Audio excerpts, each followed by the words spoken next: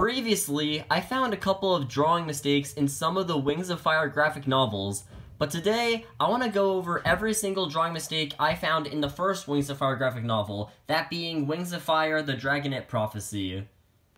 Normally, Tsunami has some light up scales around her eyes that look like this. However, on page 10, in this panel right here, we can clearly see her face, and her light up scales aren't there.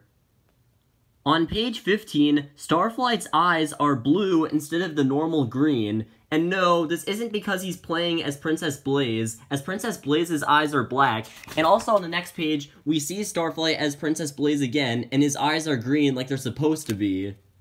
Normally, Queen Scarlet has these red bumpy things along her wings. I'm not exactly sure what they're meant to be, but they're there, throughout most of the book. However, those red things are missing on her wings on page 61 when Tsunami stabs her with the sword. As well as page 66 when Queen Scarlet breaks into the Dragonet's cave. On page 85, we can see silhouettes of Clay and Peril at night. Clay looks normal, as you can see his horns they usually stick up past his head, but Peril's horns are missing for some reason, even though they stick up straight just like Clay's, and we should be able to see them here.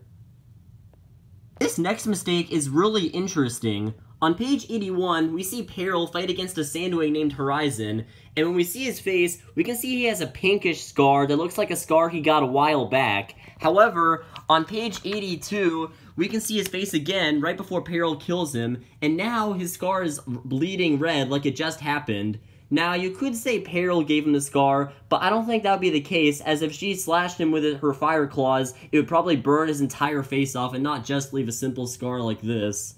And our final mistake has to do with the most underrated Wings of Fire character, that being Sunny. On page 20, we get a look at her tail, and it looks kind of weird. There's like a weird black spike coming off it that kind of looks like a tail barb, but Sunny isn't supposed to have a tail barb, so why is this little spiky thing here? Also, one quick nitpick I have about the first Wings of Fire graphic novel is that we really don't get to see much of Sunny's tail throughout the book, like we barely see it at all, when I feel like that's an important thing to show since one of her main character traits is that she doesn't have the tail barb that other Sandwings have.